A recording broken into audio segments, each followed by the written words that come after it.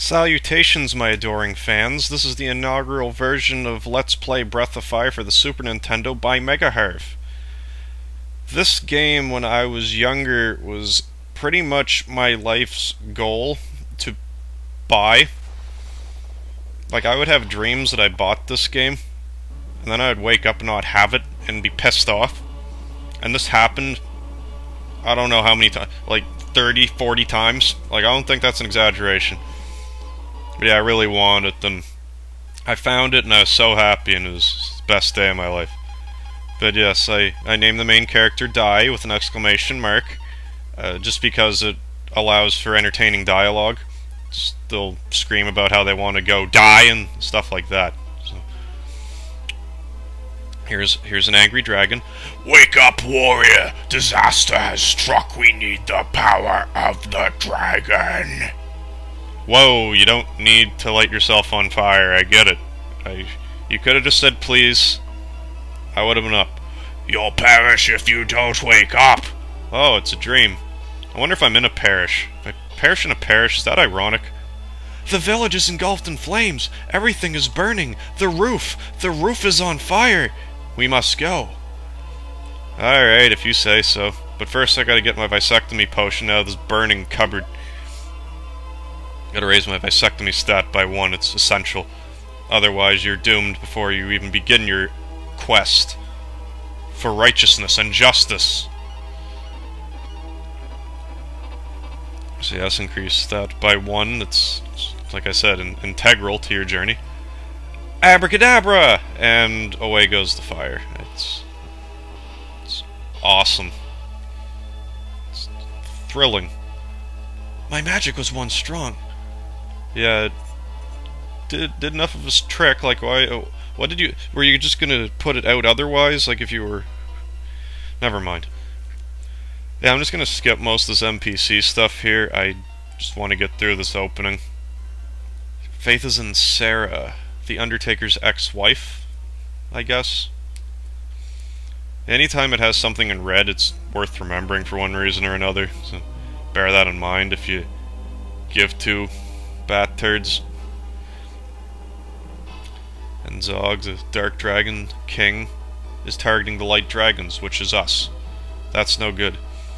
Together we can unite and stop this force. There's what? There's like 11 of us.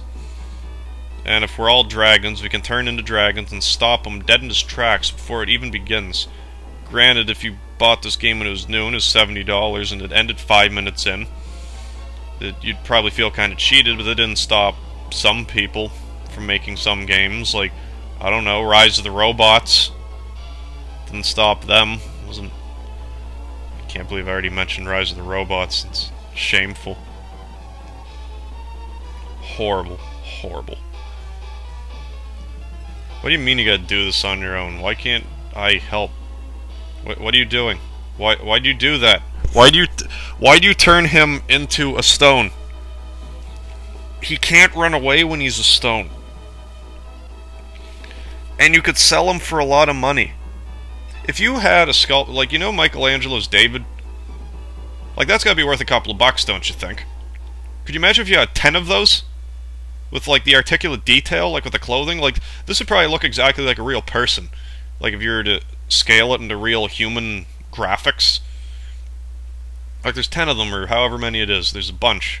Yeah, I think it's 10. How much money that would fund this empire so they could help take over the world. But whatever, Sarah, you know everything. You know, just you do whatever and you, better be right is all I have to say. Unfortunately, we don't know what's going on right now. Because we're stone.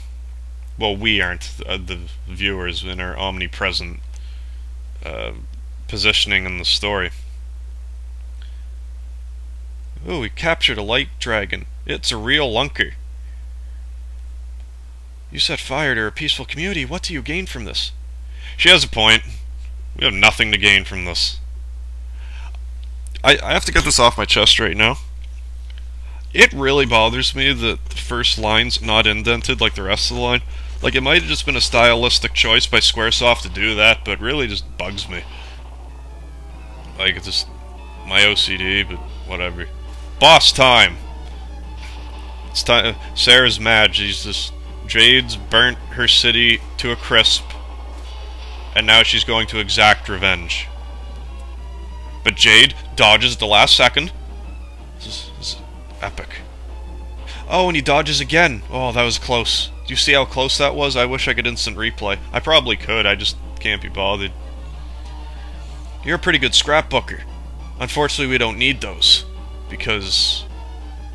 This is Breath of Fire. Don't come any closer. I don't want you to get any of your cum on me, because that's disgusting. What will you do with Tyr, the goddess? We'll use her to take over the world! Wahahaha! It's all over. Oh, and she dodges the cum blast. That was close. Take this, slime! That's a human being, Sarah. Get a grip. You didn't even flinch, he disappeared and he's flickering. What do you mean he didn't flinch? Pay attention. Now walk through the fire and flames. There we go. Ha ha ha. And now you're going to cut away right before the epic climax of that epic boss battle? This game is such a tease. When the dragon family was at the peak of its power, a goddess of desire appeared.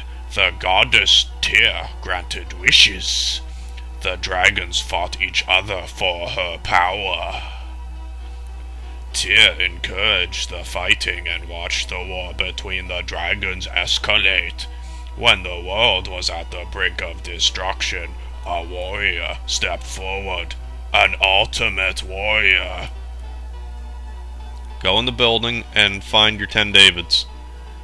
The warrior battled Tyr with his seven companions and locked her up using six keys. These goddess keys were scattered throughout the world and hidden away. You gonna check the building yet? Check the building. Check any building.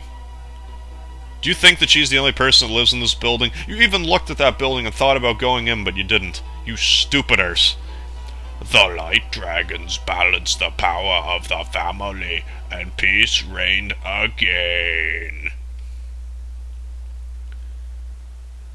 these bad guys deserve to lose because that's just so stupid.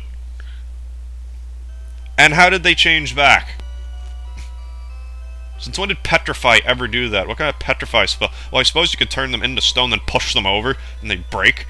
And then when they turn back, they just are dead because they're in like five, six different pieces, and all their blood spills everywhere. Maybe that's what it's used for. It's it's like an E-rated game, so they couldn't do that if ratings were even out yet. I'm not even sure if ratings existed yet.